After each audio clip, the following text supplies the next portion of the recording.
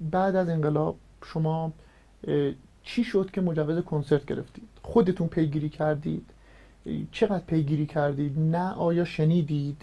خودشون اومدن از شما خواستن؟ چگونه بود؟ دعوت کردن از من که یه کنسرت بذارم. اون یادم میاد که در سینمای صحرا گذاشته شد اون کنسرت. دهه هفتاد یا شست دهه هفتاد. بله.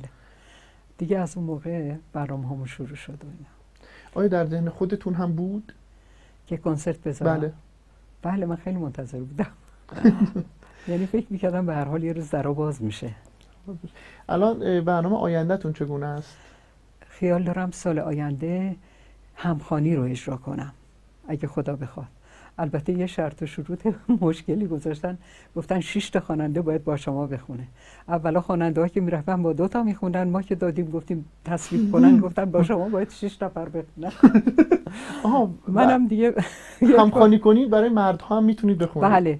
آقایون باشن سه تا آقا باشه سه تا خانم صدای ما اون وسط خب پررنگتر باشه. آره نمیشه که یعنی به هر حال تعداد وقتی بیشتر باشه بله. صدا پررنگتر نمیشه. گم میشه.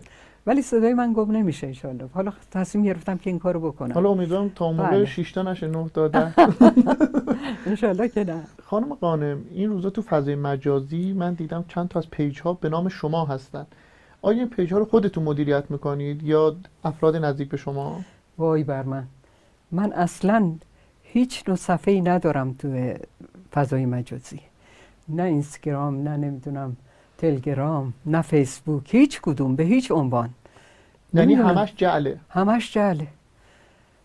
امیدوارم یه روزی اینایی که این کارا رو می‌کنن دستشون باز بشه و واقعا مردم متوجه بشن.